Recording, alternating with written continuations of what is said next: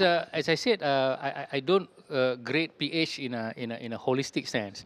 I think that's not fair, okay? Because there are things that they have done okay, and there are things they are in the act of doing, and there are things that beyond their control of doing, okay? And there are things even I cannot comment, uh, things like, say, uh, economy. But as I said just now about security, then we have to look at that, the idea that I don't see much improvement in the police because even though they are catching the, the, the criminals now, but all the criminals are Barisan Nasional people. Be, before this, all the criminals are the the opposition. So they, they, they haven't done anything uh, that I can I can like the Raymond Koh issue, uh, the Teoh Beng Hock issue, and the and the and the death in the lockup and things like that.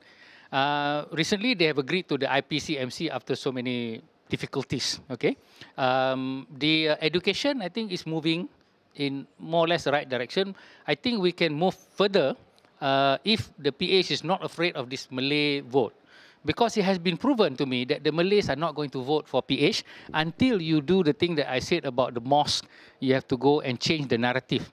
At the moment, the Malays are not going to, to, to support you. Whether if you don't if you don't support the UEC, for instance, they're not going to still support you. So might as well uh, iktiraf, you know, acknowledge the UEC. At least you will be giving uh, uh, all these things, the matriculation issue, you know. I mean, why do this 90-10 and then doing all this thing? Uh, isn't it about time that you raise it to 40%? What's wrong with that? The Malaysian punya uh, uh, uh, Mal uh, Malays and non-Malays are 60 to 40. I mean, for so many years, for many decades already, you've used it 90-10. Why not just put it out as 60-40?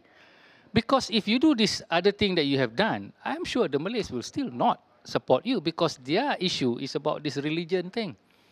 Okay, they are being controlled by certain people and, and they themselves with this Islam narrative. And, and that is the biggest thing that you have lost. And so that's why I said that I gave a failure mark to, to, to, to Mujahid, even though he's working very hard, but he's working in the wrong, wrong manner. Okay, and in which he is not reaching the ground once the narrative is not changed, nothing will change in this country, and that is a that is a fact. GE15, many are predicting that PAS no will win, and I too, because of this narrative. Okay, or, or, at least we'll have a split country. All right. So this is a this is the thing that uh, you have to identify one particular thing that anchors uh, everything, and and this is what they are not doing very well.